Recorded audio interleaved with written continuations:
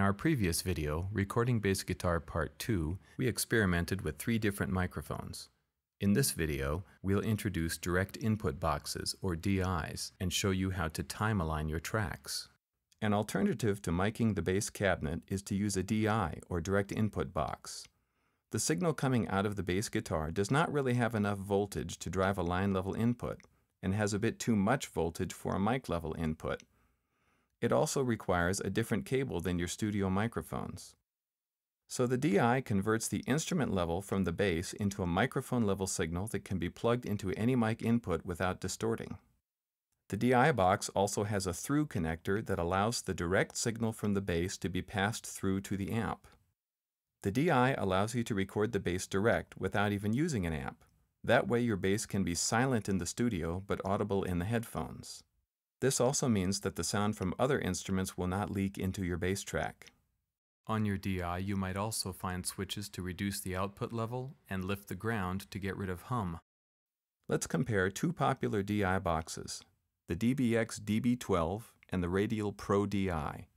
The DBX is an active direct box, which means that it uses an active electronic circuit to perform the signal conversion. Active direct boxes require an internal battery, a wall wart power supply, or 48 volt phantom power to operate.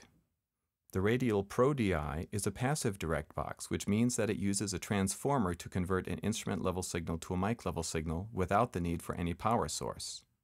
Let's compare the sound of these two direct boxes.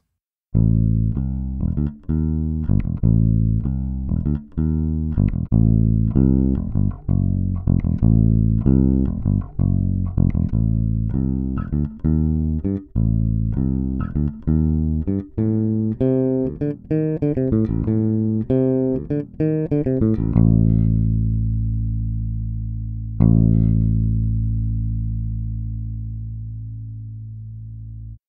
two devices sound a bit different, as do all audio devices. The difference between this passive and this active DI is not indicative of all passive or all active DIs.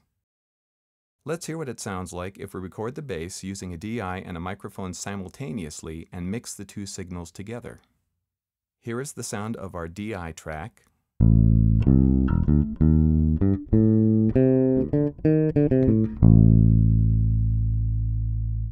And here is the sound of our microphone track.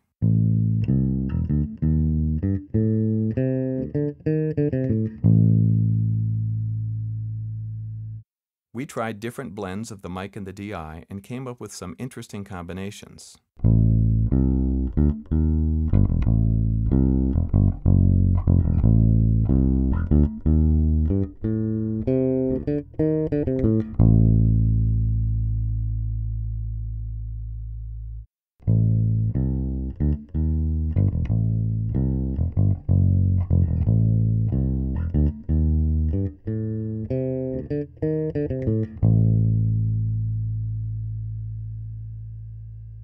Sounds pretty good, doesn't it?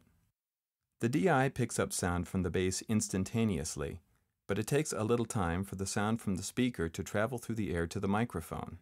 You can see this by looking at the waveforms. Notice how the microphone track lags behind the DI track. This results in a difference in phase between the tracks at certain frequencies. For instance, at this point, the microphone track is trying to push the playback speaker cone towards you, while the DI track is trying to pull it away from you. This can change the tone of your blended tracks. Here is the sound of these two tracks as recorded.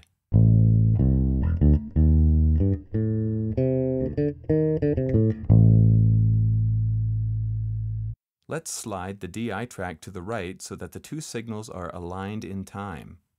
We have now effectively delayed the DI track by about two thousandths of a second which lines up the waveforms but is not enough of a delay to change the groove. Now that the tracks are lined up, let's see what they sound like.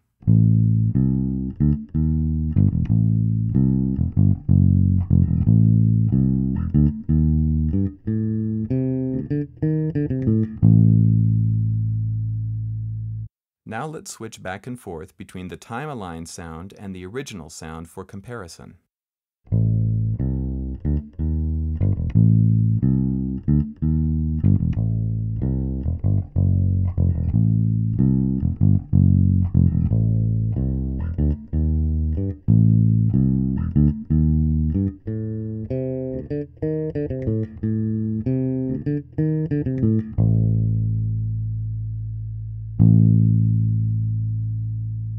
Once the tracks are aligned, we hear a fuller sound with more low end. The sound also does not tend to change as much as the bassist changes register. But the original sound was good too, reminiscent of the kind of scooped mid-range sound you can hear on many great recordings from the 80s. We recommend you try this technique and decide for yourself which approach you prefer. It is also possible to time align your audio using delay plugins instead of manually moving the track. In our next video, Recording Bass Guitar Part 4, we will demonstrate blending multiple microphones and DIs and introduce a technique called reamping.